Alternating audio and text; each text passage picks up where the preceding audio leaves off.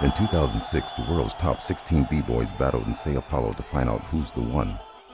This year, Red Bull BC One comes to Johannesburg, South Africa on the 22nd of September. Included in the lineup is last year's winner Hong 10, the second Ronnie, Lilou, and Tricks, among others.